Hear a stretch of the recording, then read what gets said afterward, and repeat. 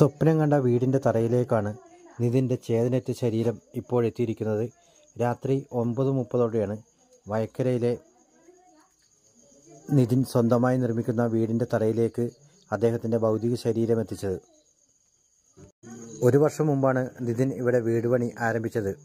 കൂട്ടുകാരുടെയും ബന്ധുക്കളുടെയും നിർബന്ധത്തെ തുടർന്നാണ് ഭൗതിക ശരീരം ഇങ്ങോട്ടെത്തിച്ചത്. എപ്പോഴും താൻ നിർമ്മിക്കുന്ന വീടിനെക്കുറിച്ചാണ് നിതിൻ സംസാരിക്കുന്നതാണ് ബന്ധുക്കൾ ഓർമ്മ ഓർമ്മിക്കുന്നത്. നിതിന്റെ ഭൗതിക ശരീരം ഇങ്ങോട്ട് കയറ്റുമ്പോൾ ബന്ധുക്കളെയും കണ്ടുനിന്നവരെയും കണ്ണീരണിയിക്കുന്ന ഒരു ദൃശ്യമാണ് നമുക്ക് കാണാൻ സാധിച്ചത്.